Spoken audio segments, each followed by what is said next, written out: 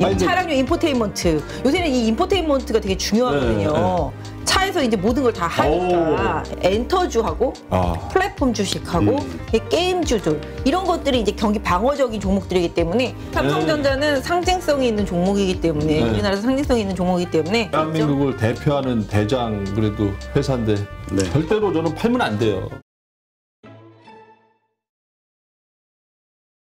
네, 오늘 박진희 부장님 그리고 고혜성님 모시고 주식 사망 토론 두 번째 시간을 갖습니다. 지난번에 아주 많은 분들이 재밌다고 하시는데 네. 일단 우리 고- 그 고혜성 선생님 선생님이라고 하니까 죽보 죽보 고혜성님을 소개해드리면 네. 죽을 때까지 산 주식은 절대 손절 안 한다. 네네. 네, 신조를 가지고 계시죠. 네. 어, 개인 투자자 대표로 네, 나오셨고요. 네. 그 다음에 박진희 부장님, 네, 유한타증권 강남 선릉역 지점. 네. 자, 일단 지난번에 그 에코프로 비행 가지고 있는데 천 원만 올라도 팔겠다. 맞아요, 네. 맞아요, 아. 그 이후에 좋은 모습이에요. 막쫙 하여튼 치고 올라왔어. 그때 방송하고 나서 한 이틀 뒤에인가 맞아요, 맞아요. 갑자기 아침에 그냥 확 오르더라고요. 이 꿈인가 생신가 했어요. 너무 놀래가지고 이게 한 5개월 만이거든요. 5개월 동안 잠자던 에? 이 회사가 갑자기 맞아 맞아. 너무 놀래가지고 바로 1%에서 이익 보고 팔았습니다. 1%. 네, 5만 원 벌었습니다. 얼마 투자했어? 500만 원 했으니까. 아, 500만 원 네. 해가지고. 지금 5만 원 벌었어요. 지금 또 빠졌잖아 좀. 아, 5만 원이 어디예요? 음, 그러네. 땅 10개를 파면 10원, 10원 한 장 안 나오는데. 음, 네. 네. 아, 단돈 천 원만 올랐어도 그냥 팔지 않았을까라는 생각을 나 했는데. 그냥 엄청 궁금했거든요. 그래서 아 전화해가지고 물어보고 싶다. 그, 그랬었거든요. 근데 팔, 파니까 또 계속 올라요. 그러니까 맞아요. 꽤 많이 올랐는데. 아, 안 보려고 했는데 한번 슬쩍 보니까 또 올랐더라고. 아, 좀만 더 참았으면 하는 마음이 있었지만 그래도 너무나 감사하고 하여튼 속이 시원해요 지금. 아 왜냐면 진짜. 그 이후 또 빠졌거든. 한 5일 상승하다가 네, 그다음에 맞았죠. 3일간 네, 또 지금 또 하락을 빠졌더라고요. 했어요. 예. 네, 맞아요. 아 근데 이제는 안 사요? 관심이 이제 완전히 끊었어요. 이제 에코프로는 정리했습니다. 다시는 안 사요. 관종에서 네, 삭제. 결별했습니다. 아 이제. 결별. 아 헤어졌어요. 이제 몇 개 남았어요. 그럼 포트의 네? 주식이. 이제 39개 남았죠. 자, 39개 가운데서 지금 또 마음속에 가장 아픈 발가락, 손가락. 지금 가장 아픈 게 모트렉스가 한 지금 8개월 동안 지금 자고 있는데 그래도 좀 조금씩 이제 올라오고 있는데 갑자기 어. 제 엊그제 한 이틀 동안 또 아, 전체 또 시장이 또 많이 어, 어려워졌잖아요. 맞아요, 맞아요, 맞아요. 아 모트렉스 이 모트렉스- 괜찮죠? 모트렉스 한번 봐주죠. 네. 어 모트레이스 액면 병합했네요. 보니까 주식수 좀? 줄어들었어요? 네? 주식수 좀 줄어들었죠. 아, 모르겠어요 그런 거는 뭐. 그런 것까지 알면 제가 뭐 전문가죠. 보니까 한 다섯 개가 한 개 됐을 것 같은데 아 그래요? 액면 병합해서. 그럼 좋은 거예요? 어, 일단은 보통 액면 병합이 그렇게 뭐 나쁘지는 않아요. 액면 네. 분할은 주식수가 좀 많이 늘어나서 네. 유동성 없는 주식들은 네. 액면 분할해서 유동성을 많이 일으키는데 네, 네. 뭐 모트렉스 같은 경우는 왜 액면 병합했는지 제가 내용을 안 봐서 그런데 보통 막 이런- 것들을 막 이렇게 감자는 아니어도 병합하는 이유들이 아마 있을 거기는 해요. 중간에 조금 뭐 쉬어서 근데 그래도 시장 안 좋을 때 잘 쉬었네. 그죠? 네? 주식이 시장 안 좋을 동안 거래 정지가 계속 좀 있었어요. 아 그게 좋은 거예요? 아니, 아니, 시장 급락할 때 안 안 빠졌잖아요. 아, 아, 그만큼 안 떨어졌다. 그치요. 정지가 돼 있었으니까. 네, 여기 여기 보시면 여기 거래 정지가 어, 요만큼 어. 돼 있었잖아요. 나는 그래서 왜얘 이렇게 안 움직이나 한참을 도대체 왜 이렇게 안 움직이지 아니, 했는데 얘 누가 그러더라고요. 내 주식 맨날 보합이라고 아. 막 기특하다고 막 옛날에. 이게 정지가 좋은 거였네. 더 밑으로 안 내려가고 네. 방어가 된 거네. 그쵸. 이야 방어전 선방했네. 그쵸 선방했죠. 야. 모트렉스 보니까 추세는 네. 오 괜찮은 것 같아요. 아니 근데 이 회사가 저번에 제가 그 에코프로 BM도 네, 그 네. 회, 장님 사장님이 회장님으로 네. 바뀌었더라고 나중에 네. 보니까. 네. 어쨌든 그 회장님이 인상이 좋았는데 네. 이 모트렉스는 제가 사장님 얼굴 솔직히 못 봤어요. 아. 못 봤는데 직원들 얼굴을 봤어. 아 진짜. 직원들 한 몇십 명 그 사진을 한번 봤거든요. 네네. 인상들이 다 너무 좋아요. 아 진짜로. 관상 직원들이 더. 중요하잖아요, 사장보다. 그렇긴 하죠. 아니 근데 진짜로 제가 근거가 있는 게 그 모트렉스 제가 또 우연히 그 정보를 알게 됐는데 어. 그 직원들이 월급이 원래 이렇게 막 불규칙했었는데 월급을 어떻게 다 조정을 해가지고 음. 네. 그렇게 해서 좀 사이좋게 월급을 다 나눠 갖는다라는 그런 아 진짜. 그 기사가 나왔어요. 아 저도 이 주식 네. 안 보던 주식이기는 한데. 그래서 회사 분위기가 좋아졌다고. 음, 네. 근데 보니까. 지금 결론은 지금 마이너스 몇 프로? 지금 마이너스 한 15%? 아, 어, 뭐. 생각보다 그렇게 어, 그래도 많이 올라왔어요. 네, 요새 많이 올랐어요. 많이 보니까. 올랐잖아요, 지금. 예. 네, 요새 단기간에 쫙 아니, 근데- 치고 올랐다가 살짝 조정받았어요. 근데 기본적으로 자기가 들고 있는 주식이 어떤 주식인지는 알고 있어야 되지 않아요? 직원이 아이고, 중요한 게 아니라. 아이고 알죠. 아이고 뭐 그 정도도 모르고 제가 아니 근데? 병합하는 거 몰랐다며. 아니 근데 그, 그, 그 병합이라는 용어 자체는 우리 개미들은 잘 사용도 안 하고 몰라요 들어도 그냥 저는 딱 하나 자율주행 자율주행에서는 모트렉스다 오. 다른 회사들이 많이 있지만 저는 네. 모트렉스가 최고다 아, 이유는? 진짜. 그냥 그 이름이 왠지 매트릭스. 비슷해가지고 뭔가 좀 이렇게 미래적인 비전이 있는 것 같아 모트렉스 이름을 잘 졌어 어떤 기술을 가지고 있기 때문에 이 회사의 경쟁력이 있다. 이거는 그렇게까지 깊이 파고들고 싶지는 않아요 주식을 그렇게까지 깊이 파고들면 제가 유한타지 거 취직하죠 제가 직원으로 그 직원들의 얼굴이 마음에 들었고 회사 이름이 마음에 어, 들었다. 이름은 괜찮은 것 같아요. 모트렉스. 뭔가 진취적이고 그러네요. 앞으로 쭉 나갈 것 같아요. 뭔가 그렇게 느낌은 네. 그렇죠. 자동차 부품 업체인데 네. 흑자 전환했다고 기사를 떠 있네요. 보니까. 아니, 차량용 인포테인먼트. 요새는 이 인포테인먼트가 되게 중요하거든요. 차에서 이제 모든 걸 다 하니까. 예. 오 괜찮네요. 아니 또 방송 나가면 에코- 프로비엠처럼 또 방송 나가면 또 바로 또 그 다음날 오. 오를 것 같은데 한 20, 20%? 그것까지 모르겠는데 오늘 보면은 오늘 시장이 좀 안 좋았었잖아요. 네. 그럼에도 불구하고 오늘 뭐 자율주행차라든지 네, 네. 자동차 부품주들은 되게 좋았었거든요. 어. 이쪽이 나쁘지는 않을 거예요. 어. 근데 지금 보면 모트렉스 같은 경우도 지금 그냥 차트만 보시면 네. 이렇게 이렇게 제가 이렇게 선을 하나 그어드렸잖아요. 네. 위아래 이렇게 박스가 있잖아요. 지금 박스권이네. 네, 그러니까 요 큰 박스에서만 오락가락 하는 거잖아요. 야. 그러니까 이 박스를 돌파하는 움직임이 나오면은 좀 시세가 날 것 같은데 기본적으로 요 앞에서 좀 거래가 요 바닥권에 보시면 여기 거래가 많이 붙으면서 이때 시세가 많이 났잖아요. 아. 그리고 나서는 이제 바닥은 어느 정도 만들어졌고 이 박스권에서 움직이고 있는데 이 박스권 중단부 정도가 한 지금 보시면 한 32,000원 부근 되거든요. 박스권 중단부가. 근데 지금 오늘 종가가 31,250원이니까 이 종목 같은 경우 바로 급락하기 전에 시장 빠지기 전에 한번 쫙 올랐었잖아요. 엊그저께. 네네. 네, 그리고 이제 어제 시장 많이 빠질 때 빠지고 오늘 이제 많이 흔들렸고. 근데 거래량이 죽어 있고 거래 여기 붙어서 제가 봤을 때는 지금 추세도 20일선 올라가고 있고 60일선도 우상향 터닝 됐기 때문에 뭐 그냥 좀 관심 있게 보셔도 좋을 것 같긴 해요. 없으신 분들도. 아니 없으신 분들도. 모트렉스 갖고 계시는 분들은 정말 우리 일심동체로 우리 팔지만 않으면 안 내려가니까 팔지만 않으면 됩니다. 끝까지. 본인이 죽도. 파는 거 아니에요? 저기 아니 그리고 천 원만 수익하는 거 아니에요? 상 가격 오르면 먼저 후다닥 팔려고 그러는 거 아니, 아니에요? 그러니까는 버티다가 다들 본인이 더천 원이라도 이때 맞아요. 보면 그때 팔자라는 거죠. 그러면은 여기서 사셨겠네? 지금 여기 저항 때 만들어 드린 그림 가격대? 저 거기 한 거기서 36,000 샀나 본데? 박스 맨 위에서 샀나 본데. 네, 46,000원대? 아, 아니, 근데 네. 15% 손실이니까 근데 35,000원. 40 종목 되면은 내가 왜 샀는지도 헷갈리긴 할 것 같아. 얼마에 샀는지. 아니 근데 확고하게 있잖아요 지금 자율주행 아, 저는. 자율주행은 진짜, 아, 저 진짜로 모트렉스 말고 다른 회사들도 있지만, 진짜 모트렉스가 가장 뭔가 좀 탄탄해 보였어요. 음. 그러니까 탄탄해 보인 네. 그 탄탄해 보인 이유가 있잖아요. 아니, 근데 진짜 그때 그 전문가분들 방송에서도 많이 나왔었어요. 그러니까 진짜. 전- 전문가들이 좋다고 그래서 네. 좋게 봤다. 예. 언제 사신 건데 그러면? 꽤 오래됐죠. 한 8개월. 8개월. 되게 오래됐어요. 어우, 기억도 안 나. 어, 지금 이 어려운. 장에서 15% 8개월 전에 산? 게 15%면은 아, 요, 괜찮은 거죠? 괜찮은 건데. 네, 요때쯤 샀나 보네 음. 요때쯤 8개월이면 요때쯤. 하, 하여튼 계속 사고 팔고 했었어요. 아, 솔직히 재미를 봤어요. 이 친구로. 아, 진짜? 네, 한뭐 5천 원, 만 원씩 여러 번 아, 네, 사고 팔고 했었죠. 아 그랬구나.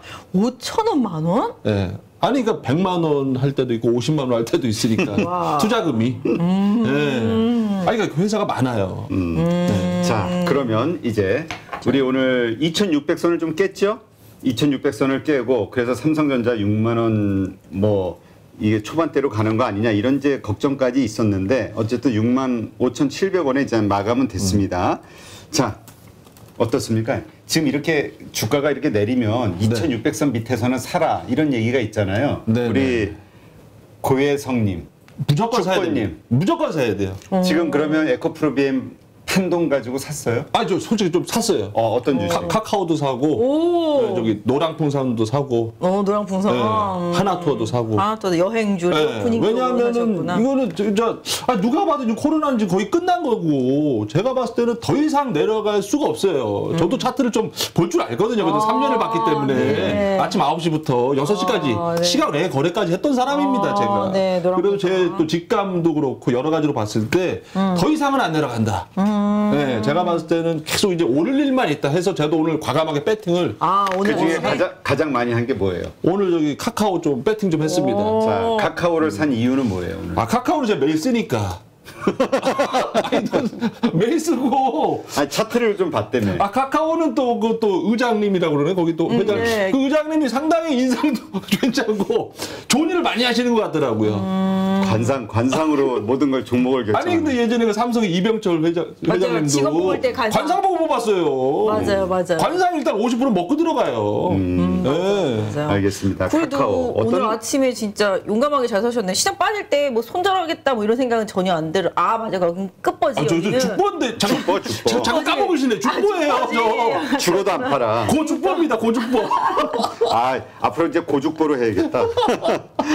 아 그러시구나. 아, 네. 그러면 아침에 오늘은 무조건 사야 된다. 어, 사- 오늘 사야 되는 날이었어요. 오늘은 진짜로. 오늘 그래 더 빠져라. 계속 빠져라. 아니, 그러니까 내 것도 물론 빠지겠지만 네. 더 빠져라. 그래. 까짓 한번. 질러보자 해서 오늘 그냥 그러면 카카오라든가 지금 산 그 노랑 풍선이나 네. 하나 투어 이거는 기존에 가지고 있는 주식인데 물을 탄 거예요? 아니면 아니 새로 신규 산 거예요? 새로 샀어요. 아, 저는 물 안 타요. 아, 물안 네, 탄다. 다 원액으로 먹습니다.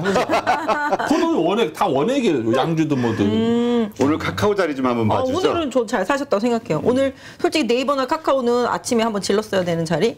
왜냐하면은 기본적으로 좀 성장주 섹터에서 너무 많이 빠졌고 네네네. 가격적으로도 여기 지금 카카오 차트 보시면 전 저점에서 지금 지지 딱 받고서 오늘 아침 반등 나온 거잖아요. 요 구간에서 그러니까 한 8만 원 정도면은 카카오가 좀 반등 나올 수 있는 구간이었기 때문에 한번 요 가지에서는 배팅이 잘 들어가신 것 같아요. 제가 봤을 때는. 매도 가격은 언제 팔기로 결심한 게 있나요? 아니 일단 저는 뭐 그냥 느낌에 5천 원이냐 만 원이냐 이제 제 느낌상 어. 예, 그렇게 좀 많이 욕심을 안 부려요. 안 가고 일단 사고 조금 수익 나면 반등. 저는 욕심을 안 부려요. 예. 얼마까지 볼 수 있어요? 단기적으로? 음, 제가 가격 드리면은 한 일단은 한 9만 5, 6천 원 선 정도.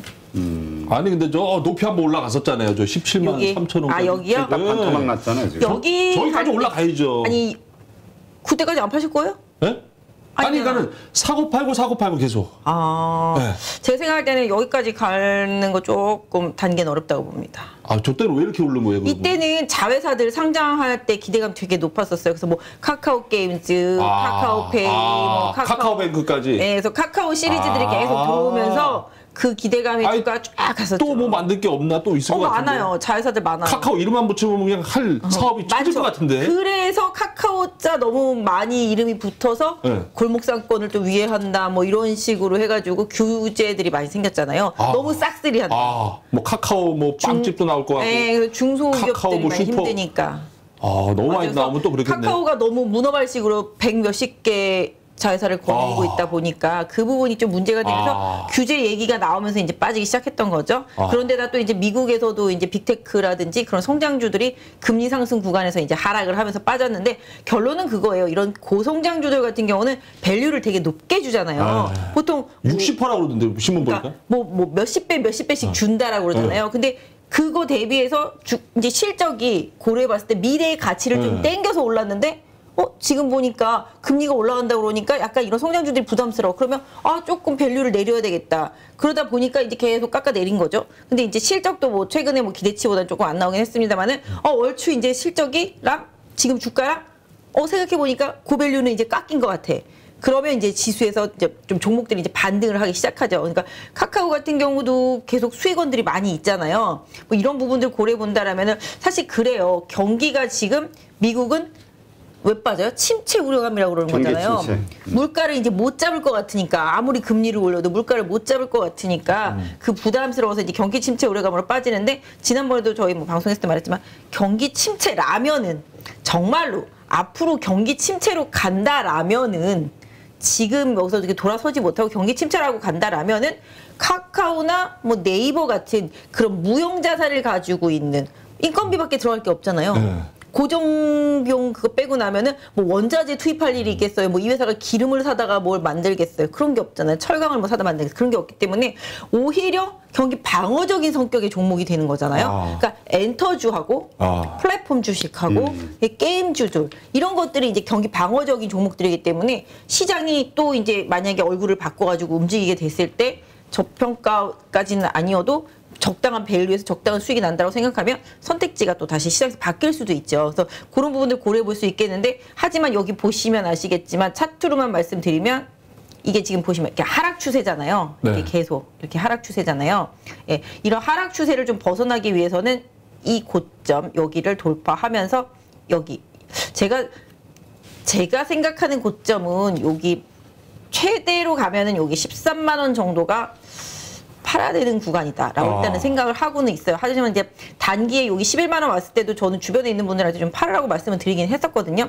그리고 다시 저가에서 살 수 있는 기회가 오니까. 근데 지금 이제 8만 원 오늘 찍었잖아요. 지금 오늘 얼마 찍었죠? 8만 1,900원 찍었습니다. 그래서 한 8만 원 정도를 러프하게 손절선으로 정해 놓는다라면은 카카오 하시는 분들한테는 조금 모아 가실 수 있는 가격대다라고 볼 수 있겠고 실질적으로 지금 수급을 보면은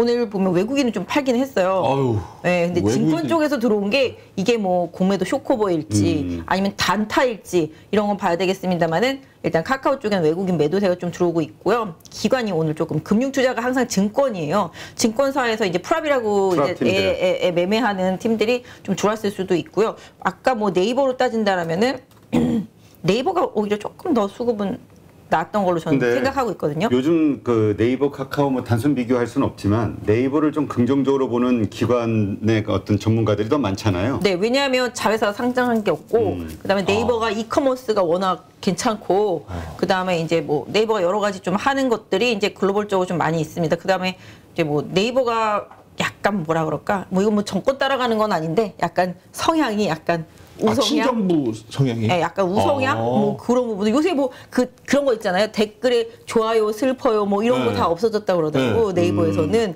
그게 또 이제 사람들의 그런 생각이나 여러 이런 것들 좀 이렇게 이렇게 나누고 뭐 이런 것들 뭐 그런 거 때문에 자기네들은 그것 때문에 아니라고 하지만 아. 다른 거라고 뭐 기사가 좋아요라든지 뭐 그런 쪽으로 바꿨다 그러는데 아무튼 그런 거 아니라고는 하지만 항상 네이버는 그동안 약간 좀 그런 식으로 좀 기사를 써왔고 다음 카카오는 약간 좀 반대 성향이었었잖아요. 근데 아무튼 외국인은 네이버를 사고 있고 기관도 사모펀드 투신권을 좀 사고 있습니다. 그래서 오히려 카카오보다는 조금 묵직할 수는 있겠는데 근데 손님들한테도 제가 네이버랑 카카오 중에서 뭐 사실래요 물어보면 다들 이렇게 말하세요. 카카오가 좀 가벼우니까 아. 단타하기 좋으니까 음. 많이 빠졌으니까 그걸 사고 싶다 이렇게 말씀하시는 분이 많아요. 제가 어저께도 네이버하고 카카오 중에서라고 물어봤더니 손님이 카카오 사달라고 막 이러시더라고요. 근데 음. 네이버 진짜 많이 빠졌거든요. 네이버도 많이 빠졌네. 네, 네이버도 여기 27만 원 부근에서 좀 일단 주가가 방어가 되고 있습니다. 여기 부분이 되겠습니다. 여기 보이시죠? 네. 요 지지선 옛날 이 저점 라인들 여기서 좀 지지가 잘 되고 있습니다. 그래서 요 가격대 계속 지지가 된다라면은 일단 좀 저점으로 좀 보실 수가 있고 저는 솔직히 정말로 좀 많이 빠져서 뭐 시장 확 빠져서 정말 2,500 찍을 때 한 26만 원, 25만 원 뭐 이 정도까지 내려오면은 한번 훅 질르려고 그랬었는데 오늘 아침에 한 마이너스 한 2, 3천 원 할 때 사까마까 사까마까 고민했는데 그래도 약간 시장이 급락하고 나면 약간 좀 중소형주 많이 빠지는 것들이 탄력이 좋으니까 그런 것들을 좀 접근하긴 했는데 네이버도 조금씩은 이제 어느 정도 가격 메리트가 있는 구간까지 내려왔으니까 아까 카카오 사셨다고 말씀하셨는데 둘이는 같이 한번 음. 뭐 연계해서 같이 보시면 방향성이 좀. 비슷하죠. 내일, 내일 만약에 네이버 좀 내려가면 네이버를 좀 한 조심스럽게 한 50만 네. 원. 네, 왜냐하면 지금 사야 될것 보시면 같은데. 확대를 해보면 확대를 해보면 여기 3일 동안 저점이 일치하고 있잖아요. 그죠? 네. 짠짠짠 세 개. 그러면 어, 받쳐주고 있네요. 네. 이거는 종가가 27만 원이 깨지면 손절한다는 생각으로 근데 손절. 장중에 흔들거릴 싸게 사겠지. 손절 안 할 만큼 싸게 사겠죠. 그죠? 아, 일단 50만 원치 샀다가 조금 내려주면 또더한 사고. 50만 원. 좀, 그- 그치. 좀 그렇게 해요. 추가 매수, 추가 예전에는. 그냥 한 번에 막 500만 원치 했는데 지금은 그렇게 안 해요. 음, 음, 네. 그래서 분할 매수로 네. 접근하신다라면은 아, 그걸 일단 지금 이격도 크고 너무 늦게 알아가지고. 아, 예, 하락하는 동안에 이격도 컸기 때문에 이 이격 과다 상태를 좀 줄이는 rebounding 가능하겠고요. 지금 27만 원 마지노선으로 해서 접근하시고 27만 원 종가 깨지면 조금 부담스러우니까 그때는 비중 축소 내지는 뭐 새롭게 들어가시는 분들은 뭐 매도하실 수 있겠습니다만은 일단 가격에서 사고 30만 원에 한번 걸리는데 30만 원 돌파되면은 여기 저희가 그어드렸던 여기 34, 5만 원 부근까지 1차적인 좀 목표 아, 그림이 보시면 될 것 같아요. 올라갈 딱 그림이네요. 이게요? 어떤, 산이- 어떤 거를 보고? 산이? 아니 그러니까 산이 이제 딱 보면은 그 저는 이제 산을 볼 줄 알거든요. 요쯤에는 이제 올라가는 타이밍입니다. 이제 이제는? 여기 한 50만 원 이상까지 한번 또 예? 네. 50만 원이요? 신고가? 예. 진짜? 아니 그러니까 길게 내다보는 거죠. 한 10년. 일단 참고로 10년 말씀드리면 내다보는 거죠. 39 종목 물리신 분입니다. 그걸 꼭 자막에 넣어주세요. 괜히 또 제 얘기 듣고 전재산 올인하시면 안 됩니다. 네. 참고로 39 종목. 네. 아무튼 근데 여기서 40 종목에서 하나 이익 실현하고. 시세가 많이 났으니까 세 번 정도 이렇게 올라다녔다 났고 지금 하락 A, B, C까지 하면은 뭐 반등할 가능성은 있다라고 보겠고요. 아무튼 뭐 조정 많이 받았으니까 가격적인 메리트는 좀 있고 아까 말씀드린 대로 30만 원이 좀 1차 저항인데 돌파되면은 하여튼 33, 4만 원 정도까지는 가능성이 있으니까 시장만 더 망가지지 않는다라면은 뭐 우량주, 대형주 좋아하시는 분들한테는 뭐 선택지가 될 수 있을 것 같습니다. 네. 일단 지금 얘기하신 대로 지금 많이 빠졌잖아요. 그리고 이 시장이 안 좋은 상태에서 아 나는 이번 기회에 저가 매수의 기회로 삼아야겠다 하시는 분들이 좋게 그러니까 그러니까 뭐라 그럴까 음. 잘 살만한 주식이 뭐냐 그 가운데 이제 우리가 네이버 카카오 그다음에 어, 삼성전자도 이제 마- 많이 얘기하잖아요. 그렇죠. 네, 대표적이니까 얘기하죠. 이게 최선일까 이런 생각이 들어요. 박 부장님 생각은 어때요? 사람들이 되게 그런 것 같아요. 위기가 오면 좀더더 안전자산을 선호하는 현상들이 있는 것 같아요. 지금도 보시면 아시겠지만 달러도 강세고 음. 금도 마찬가지고 안전자산을 선호하는데 주식을 하면서도 안전하다고 생각하는 자꾸 삼성전자를 선택을 하게 되는 거지. 그렇죠. 네. 그죠? 그러니까 아 이렇게까지 망가졌는데 여기서 삼성전자를 사면 더 이상 손해는 안 보겠지. 뭐 이 정도는 잘 지켜주겠지. 언젠간 올라가겠지. 뭐 이런 생각으로 삼성전자를 접근하시는 것 같아요. 저 아는 분이 그러시더라고요. 저희 회사에 있는 이사님인데 저랑 친한데 지난번에 점심 먹는데 그러시더라고요. 사람들 참 이상해. 위험 자산인 주식을 투자하면서 자꾸 안전하게 살려고 그러는데 아. 위험 자산을 투자할 거면 위험하게 해야지. 막 이러신 거예요 저한테. 맞, 맞는 말이긴 한데 위험 아니, 자산에 투자하면서 위험하면 위험한 건데 뭔가 안전하게 하는 뭐 좀 이게 모순이 있지만 그래도 예. 근데 원래 그러니까 수익이 안 나는 거잖아요 별로. 예? 근데 원래 인생이 모순이잖아요. 그건 이 맞는데. 어려운 인생인데 맞아요. 막 재밌게 행복하게 살라고 하잖아요. 사람들이 그런 거지. 위험 자산을 투자하고는 있지만 그래도 그나마 거기서 좀 더 안전 그렇죠. 자산을. 네. 선택하고 싶은 그런 욕심인 거죠 기본적으로. 저도 삼성전자 오늘 또 아, 샀어요? 이- 예, 아, 말씀 아까 안 드렸는데 어. 삼성전자 오늘 예, 한 60만 원치 샀습니다 일단. 60만 원치면 네. 몇 아, 주. 일단 삼성전자, 네이버, 카카오 우량주 중심으로 사긴 했는데 그러니까 여기도 위험 자산에 하도 그동안 한 3년 동안 디다 보니까 저는 위험한 건 안전- 아니에요. 네. 자꾸 안전한 거 선택하시는 거잖아요. 안전하면서도 비전 있는 거. 아니 아까 음. 모트렉스, 모트렉스 네. 네. 모트렉스 샀는데 뭐 아 좋아서 샀대잖아요. 그러니까 소형 그러니까 자율주행차. 가격은 네. 되게 지금 액면 병합해서 많이 올라왔어요. 제가 보니까 실질적으로 사셨을 때는 한 몇천 원짜리였었죠? 모르겠어요 그 가격까지. 아니, 하도 관리하는 애들이 많아서. 관리가 안 돼 지금. 주식 제가 뭐 증권 회사 수준이죠 뭐. 예. 펀드 펀드 펀드. 펀드 수준. 펀드 운영자. 펀드 펀드. 근데 고주법 펀드. 근데 고주법. 근데 펀드에 담은 주식에 대해서 잘 몰라. 아니 정말로 다 까먹었어요 하도 오래돼서. 아니 정말로 너무 많으면 내가 뭐 갖고 있는지 까먹을 때가 오래전에. 사서. 그리고 시장 이렇게 막 내리고 이러고 그 약간 마음 방치하다 보면은 그냥 다 잊어먹게 맞아. 되더라고요. 네. 저도 계좌의 종목이 막 많이 늘어날 때는 한 일곱 개? 막 이렇게까지도 늘어날 아 때는. 일곱이 많은 거예요? 예. 아우, 아 일곱이면은. 예. 아무튼 그 정도 될 때인데 어쩔 때는 이런 생각할 때도 있어요. 막 주가가 빠져요. 네. 어, 내가 저거 팔았는데 많이 빠지네 해서 봤더니 내 계좌에 있어. 안 팔린 거야.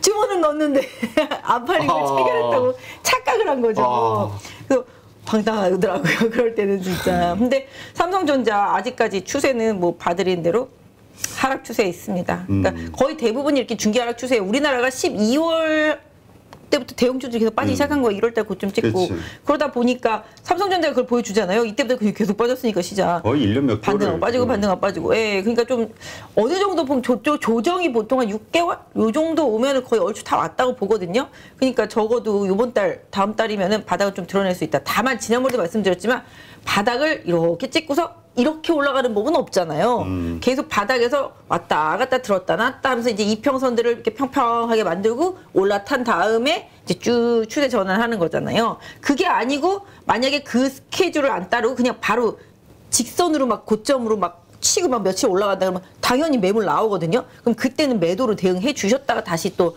저점에서 좀 재접근하시는 전략을 쓰는 게 좋은데 삼성전자만 놓고 본다라면은 요새 좀 덜 빠지죠. 좀 덜 빠지고 수급에서 보면은 사실 외국인이 어제 좀 사는 척 하더니 또 팔더라고요 보니까 아, 많이 팔았네요. 계속 팔고 있어요. 기관이 오늘 연기금이 코딱지만큼 샀잖아요. 아. 그리고 증권 쪽에서 사고. 그러니까 이런 게 다 증권에서 산 게 산 게 아닐 수가 있는 거예요. 공매도라든지 그런 거에 대한 short covering. 뭐, 예, short covering이라든지 그럴 수가 있기 때문에 이걸 산 거라고 보면 안 되는 거거든요. 그래서 기본적으로 그렇게 봐주시는 게 맞고 저도 정확하게 확인을 안 해봤는데 아마 그랬을 거라고 생각을 하고 있습니다. 그래서 지금 보신다라면 삼성전자가 이번에 지금 여기 한 6만 한 9천 원 좀 못 갔었잖아요. 6만 8천 원 정도 갔다가 이번에 내려왔는데 두두두 내려왔죠. 그래서 지금 상태 가격대에서 오늘 저점은 65,300원. 사실 저는 6만 2, 3천 원 오면은 한번 질러야지 이런 생각했었는데 그 가격이 아마도 한 2,500 포인트. 예, 그 정도 될 거예요. 한 6만 2천 원, 뭐 3천 원 요 사이가. 근데 기다리는데 안 오긴 하는데 아직까지 보세요. 21선 빨간색 하향하고 있습니다. 우하향하고 있죠. 단기 추세 하락 중이고 60일선 아직도 하락하고 있습니다. 60일선 하락하고 있는데 중기 추세도 꺾였다는 얘기죠. 여기 보시면은 다 200일선까지 다 하락을 하고 있어요. 그러니까 모든 이평선들이 다 하락을 하고 있습니다. 하락하고 있는 이평선이 돌아가려면은 몇 달 걸리거든요. 들었다 놨다 몇 번 해야 될 것 같아요. 그래서 삼성전자 지금 상태라면은 급등하기보다는 서서히 좀 방향 전환하는 그런 흐름 좀 생각해 보시면 좋을 것 같고요. 사실 여기에 모르시겠지만 저는 갭 이론자잖아요. 음. 근데 여기 갭이 있어요. 보이시죠? 구멍 하나 나 있는 거. 요 갭까지 노린다라면은 제가 말씀드렸던 6만 2, 3천 원입니다. 어. 네. 여기 갭 매우러 내려오면은 질러야 되는 타이밍이라고 일단 보고는 있는데 모르겠어요. 러시아 문제나 중국 문제, 그다음에 요번에 이번 주에 있을 뭐 소비자 물가 지수 미국 시장 그거에 따라서 시장이 한 번 더 충격을 줄지 아니면 그냥 올라갈지 봐야 되겠습니다만은 저 여태까지 보면서 갭을 남겨놓고 그냥 계속 갔던 적은 없었던 것 같아요. 아. 반드시 내려옵니다. 아, 그게 거의 뭐 법칙인가요, 그게? 네, 저 제가 생각한 왜냐하면 아, 가- 이렇게 구멍 있는 그 네. 갭들은 뭐 2년 뒤든 3년 뒤든 반드시 매꾸러 내려오더라고요. 아 내려와요. 아, 네, 반드시 매꾸러 위쪽에 있는 갭도 마찬가지. 아, 유일하게 이, 이 삼성전자만 안 내려왔으면 좋겠네. 샀으니까. 제가 샀어. 받았으니까 한 대만 팔면 되죠. 유일하게 예외로 이번에만. 어차피 천 원 먹고 팔 거 아니었었어요. 아니 근데 분위기를 보니까 우리 박진희 부장님의 말을 절대적으로 신뢰하시는 듯한 분위기인데. 아니 근데 말씀하신 게 너무 논리적으로 이렇게 그 너무 근데 그- 지난번 방송에서 네. 다시는 전문가 말을 믿지 않겠다. 아니 근데 또 이게 참 이게 왔다리 갔다리 해요. 이게 원래 주식도 왔다리 갔다리 하는 것처럼. 맞아요. 근데 예. 삼성전자는 상징성이 있는 종목이기 때문에 네. 우리나라에서 상징성이 있는 종목이기 때문에 그리고 뭐 아시다시피 배당을 그래도 1년에 네 번씩이나 주잖아요. 아니, 꾸준히 근데 뭐 배당 거의 받으면서 살 지금은 거의 뭐 근데- 살 구간이 나고 봐야 된다. 어, 여기 보면은 6만 5천 원이니까 제가 말씀드린 6만 3천 원으로 가더라도 몇뭐 프로 안 돼? 빠져봤자 4%네 아유, 뭐 이런 식. 예, 아니, 그러니까 내려가 봐야? 뭐 얼마 내, 얼마 더 안 내려가고 음. 매꾸로 그갭 매꾸로 내려가 봐야 뭐 얼마 안 내려가잖아요. 그러니까 그런 생각으로 네. 마음 편하게 분할 매수 하신다라면은 아, 대한민국을 대표하는 대장 그래도 회사인데 네. 절대로 저는 팔면 안 돼요. 네. 그다 죽보가 돼야 됩니다. 죽보.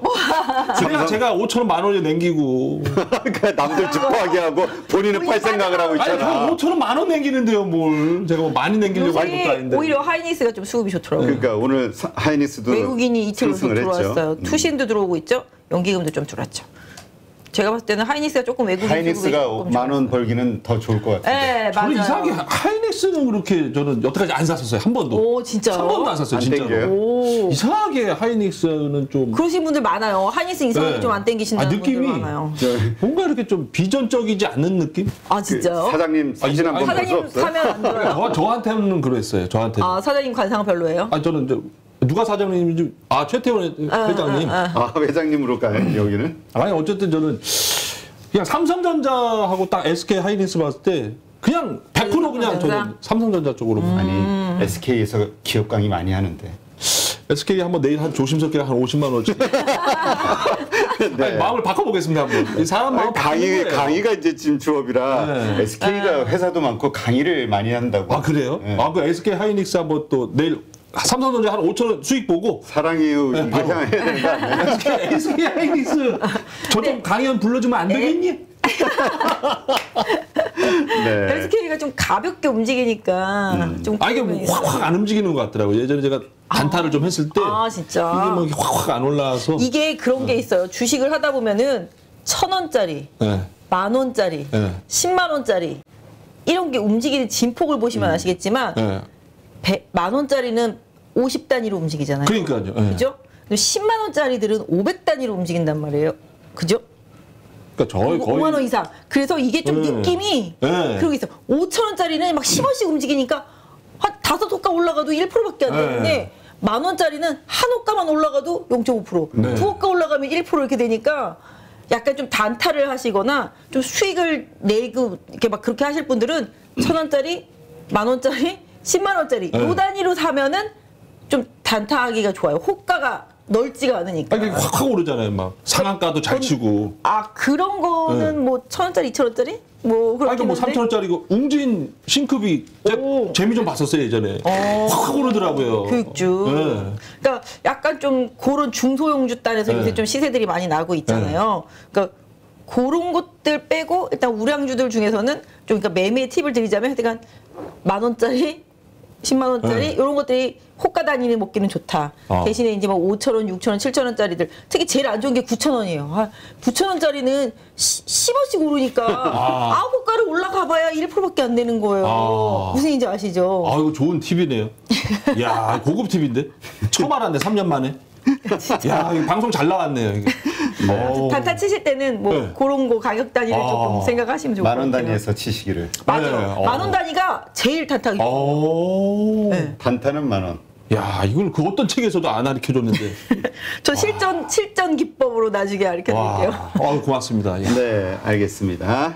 누구나 한 시간 안에 200개 종목에서 좋은 종목을 고를 수 있는 그런 능력을 배양할 수 있도록 제가 도와드리려고 그렇게 하고 있습니다.